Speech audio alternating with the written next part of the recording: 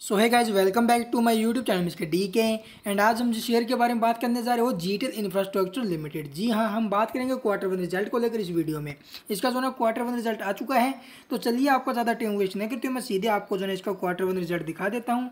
इसका जो quarter one result आया है, वो कैसा आया है?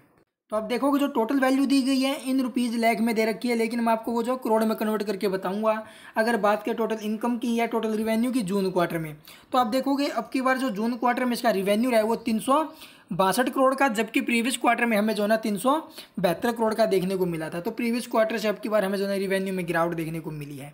वहीं अगर मैं बात करूँ प्रीवियस ईयर के जून क्वार्टर से तो वहाँ से भी हमें जो है रिवेन्यू में गिरावट ही देखने को मिली है। अब हम डिस्कस करते हैं इसके एक्सपेंसेस को लेकर, यानी टोटल खर्चे। तो आप देखोगे, अब की बार जो टोटल एक्सपेंस इसके रहे हैं, वो है छः सौ बयालीस करोड़ के, जबकि प्रीवियस क्वार्टर में पाँच सौ बासठ करोड़ के थे। तो प्रीवियस क्वार्टर से आप देखोगे, अब की बार इसके एक्सपेंसेज में हमें जो ना ज़बरदस्त जंप देखने को मिला है। तो आप देखोगे रिवेन्यू जो इसके एक्सपेंस से बहुत ज़्यादा कम है।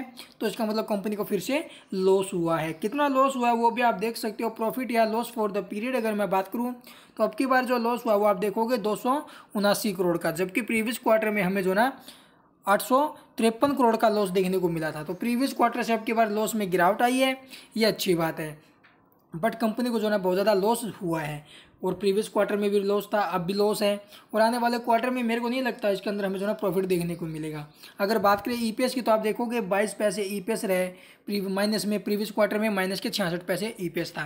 तो ये इसका क्वार्टर वन रिज़ल्ट है। अगर बात करें इसके द्वारा कुछ अनाउंसमेंट की तो आप देखोगे इसके द्वारा कुछ भी अनाउंसमेंट नहीं हुआ है भाई।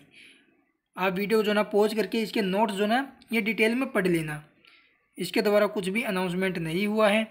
जैसा है वैसा का वैसा ही आपके सामने इसका रिज़ल्ट है।